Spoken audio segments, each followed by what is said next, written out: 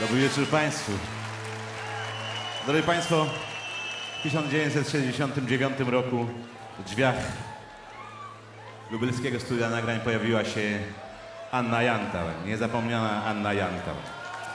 Nagrała piosenkę, która wrosła w polską publiczność, słychać ją ze wszystkich anten radiowych. Nieznane, zupełnie nieprzewidziane losy spowodowały, że wówczas czteroletnia Natalka dzisiaj zaśpiewa tą piosenkę. Natalia Kukulska.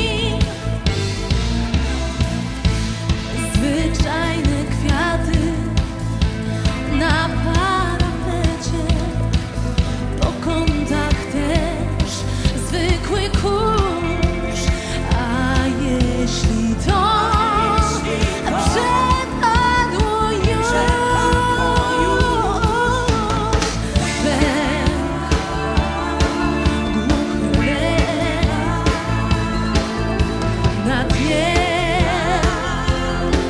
skrytych gdzieś.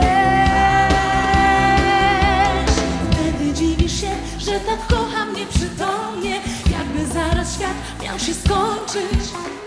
Kiedy pytasz mnie, czemu rzucam się jak ogień, wprost ramiona twe, myślę sobie, nic nie może